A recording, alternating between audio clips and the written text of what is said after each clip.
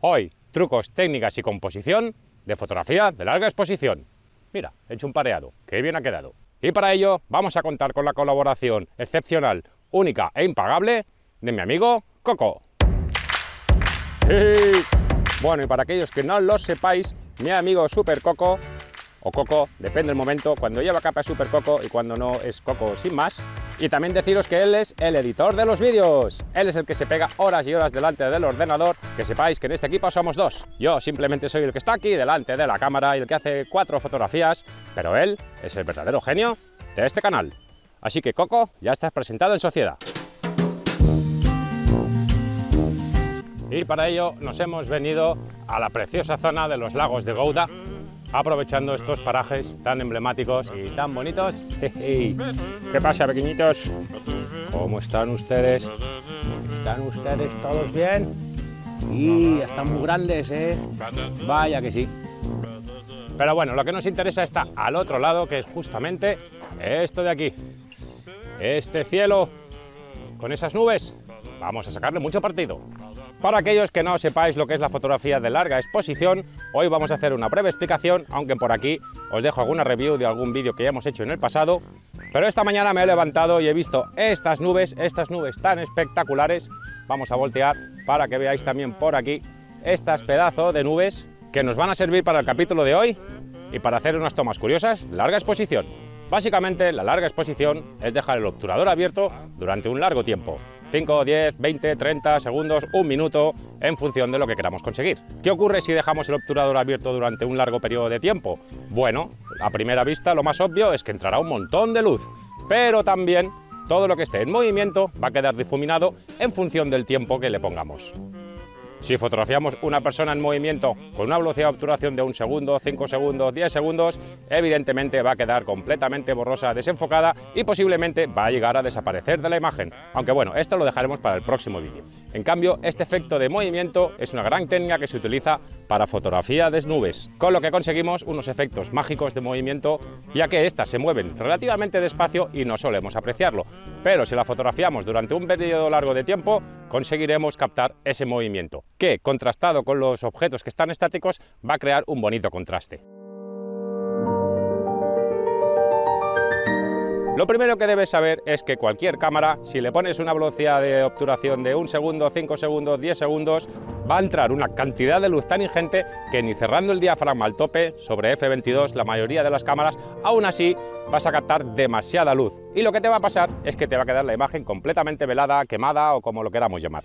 Entonces lo que necesitamos sí o sí es ponerle a nuestra cámara unas gafas de sol. Sí, señor y tenemos gafas de sol que quitan más o quitan menos luz en función del oscuro que sea el cristal o el material. En este caso vamos a usar unas gafas de sol o hablando con propiedad un filtro de densidad neutra ND1000. Los filtros de densidad neutra varían en función de la oscuridad y más tendremos que reducir la velocidad para conseguir una fotografía bien expuesta. Esto es lo que nos va a ayudar a conseguir ese efecto de movimiento de las nubes. En este caso vamos a usar un filtro de la marca Oya ND1000 lo que significa que nos quita 10 pasos. Vemos cómo la cantidad de luz que nos quita es bestial. Para ver este movimiento de las nubes vamos a hacer un motion lapse, que no es más que un time lapse, una serie de fotografías cada 3, 4 o 5 segundos que luego se juntan para captar el movimiento de las nubes. Y este movimiento lo que queremos hacer es captarlo en fotografía, pero difuminado.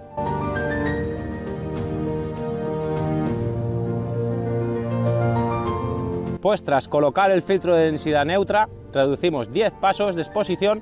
Entonces, como lo quiero todo en foco, le damos un F22 y esto nos permite dejar el obturador abierto durante 13 segundos. Como podemos comprobar, conseguimos este efecto de movimiento de las nubes contrarrestado con las cosas que están quietas, que son los árboles. Pero a esta foto le falta algo.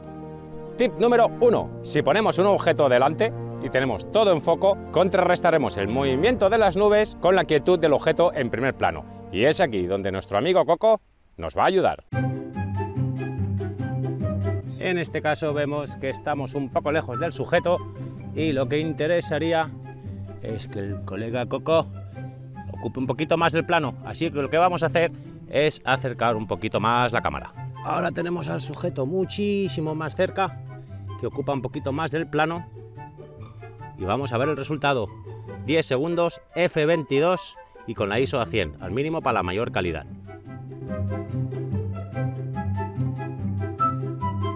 Bueno, y he decidido cambiar este, el 2875, por este, un 18 milímetros, para tener un poquito más de ángulo. Vamos a probar.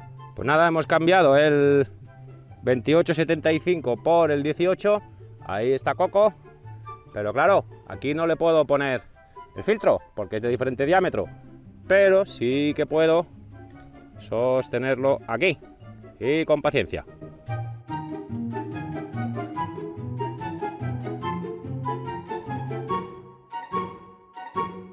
Bien, ya habéis visto que en este caso la técnica consiste en poner en un primer plano algo que esté estático y en último plano las nubes en movimiento.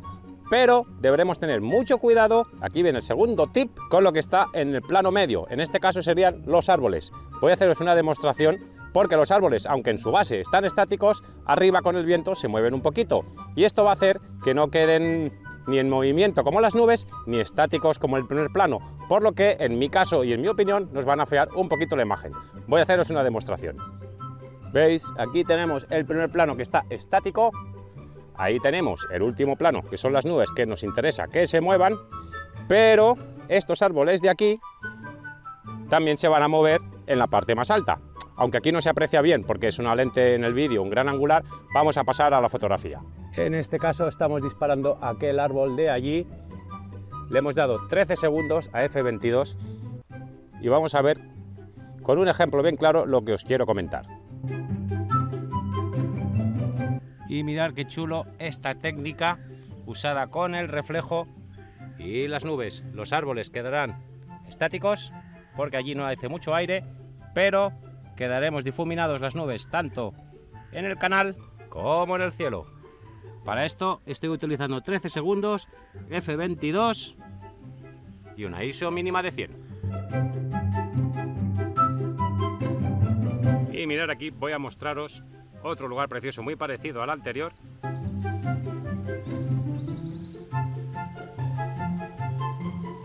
Mirar qué bonito. Nubes por aquí, nubes por aquí, agua que refleja y los parámetros que hemos elegido en este caso como está más oscuro son 30 segundos F22 y una ISO de 1.125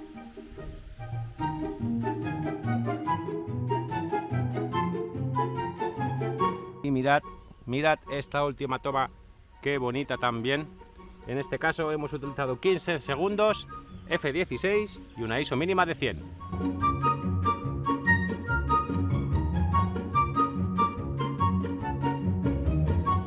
Y ahora el tercer tip que os voy a decir.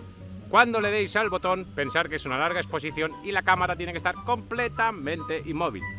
Así que simple hecho de apretar el botón del disparador ya va a hacer que, que apliquéis a la cámara cierto movimiento, cierta vibración.